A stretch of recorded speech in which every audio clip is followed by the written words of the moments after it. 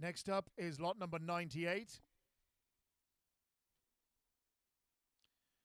Lot number 98, consigned by Meadowview Stables.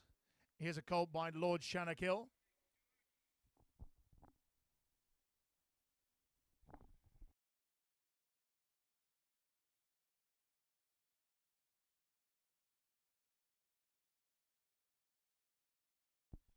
So 98, getting into his stride now, passing the two furlong marker. Here's the colt by Lord Shanakill, a half brother door winner from the family of Penkenna Princess, who failed by just a nose to become the first European breezer to win a classic, having been sold at DBS.